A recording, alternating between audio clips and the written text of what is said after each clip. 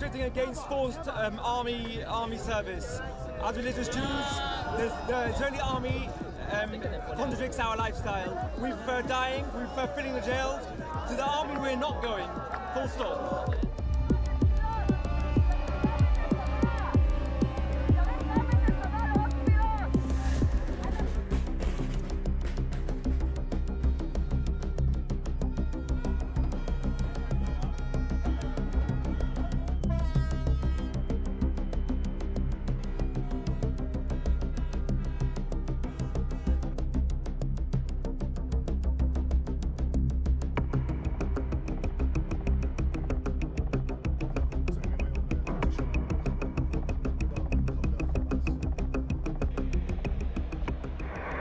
Thank you.